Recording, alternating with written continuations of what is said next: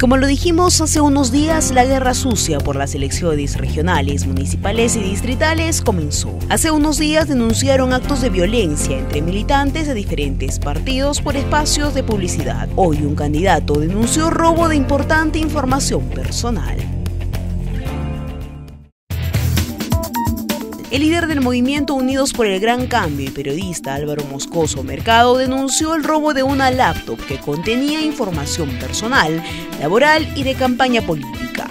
El día de, ayer en horas de la noche, cuando nos estamos dirigiendo al centro de trabajo en la radio donde estamos laborando en horas de la noche, eh, llegamos aproximadamente a las 7 y 30 de, de la noche y cuando hemos egresado estábamos haciendo un poco de locución, hemos salido más o menos a las 8, 8 y 5 nos percatamos que la luna posterior de nuestro vehículo eh, estaba totalmente trizada y habían sustraído pues, eh, dentro de mi vehículo mi laptop, eh, que es una herramienta de trabajo para cualquier periodista.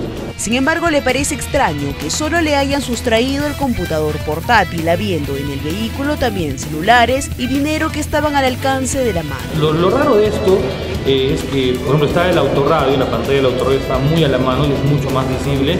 Está incluso uno de mis, celulares que estaba en el, vehículo y no, no ha sido sustraído, ¿no?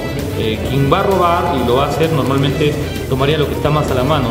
Inmediatamente ocurrido el hecho, el candidato puso la denuncia del robo en la comisaría de Yanaguara, tal y como consta en la denuncia policial.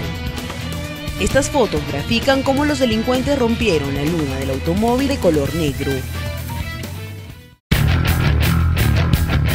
Moscoso no es el único que la pasó mal. El alcalde y candidato Alfredo Segarra será denunciado por el delito de peculado por utilizar los recursos de la Municipalidad Provincial de Arequipa para hacer propaganda política. Casualmente el día de ayer los vecinos de la zona del Cono Norte nos, alcanzaron este tipo de entradas, este tipo de pases que se está repartiendo, donde aparece el logo de, la el logo de, de su movimiento, ¿de acuerdo? Conjuntamente con Municipalidad Provincial de Arequipa, dice entrada de cortesía.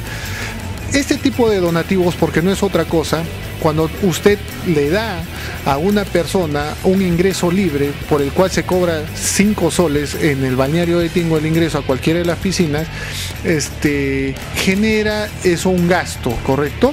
Entonces esa donación tiene que ser aprobada por la municipalidad. Nosotros como Consejo Municipal no hemos aprobado ningún tipo de donación y en consecuencia, si se ve de la numeración, se han entregado más de 65 mil de estos tipos de pases. Entonces, y lo peor, que parece que les ha quedado cortos porque les han puesto hasta válido hasta el mes de diciembre del 2014. Entonces vamos a un hecho, ¿no?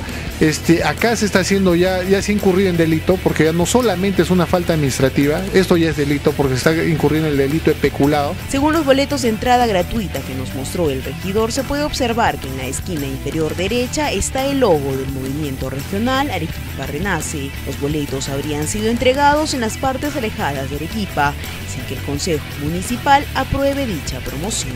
Si sacamos, si sacamos solamente así a grosso modo 60 mil, 65 mil pases que ya se estarían entregando a 5 soles que se debería de cobrar, correcto, estamos hablando que eso hay un perjuicio de más de 3 millones de soles.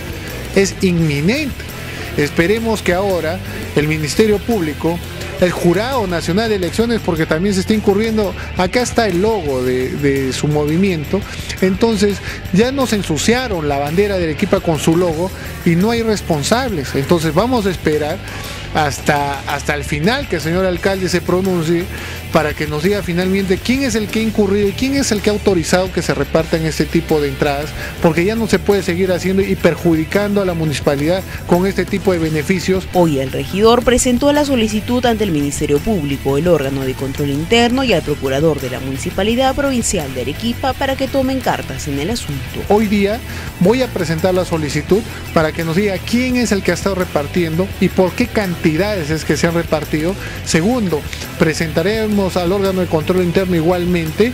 Yo no voy a presentar nada al Jurado Nacional de Elecciones porque esto es, y es un tema ya este, estrictamente, yo me estoy ligando al tema, lo que es municipalidad, y presentaremos formalmente la solicitud para que el procurador proceda a formular la denuncia penal correspondiente, porque no existe ningún acuerdo municipal donde nosotros hayamos acordado donar más de 65 mil pases para que puedan ingresar al balneario Tingo.